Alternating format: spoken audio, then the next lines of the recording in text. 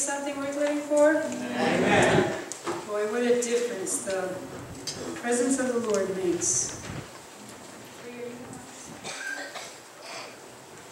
Second Peter, chapter one, verses three and four. When I was a little girl, they taught me, when you first come to church, you look up the hymns and you get ready, and you look up the scripture and stick your bulletin in there.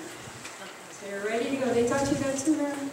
All right, here we are, Second Peter, chapter two, chapter one, verse three and four.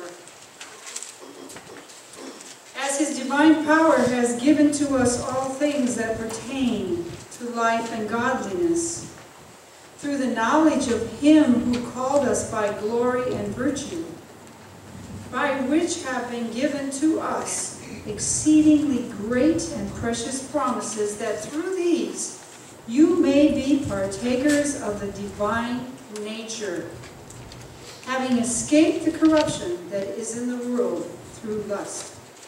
Lord, add a blessing to the reading of his word.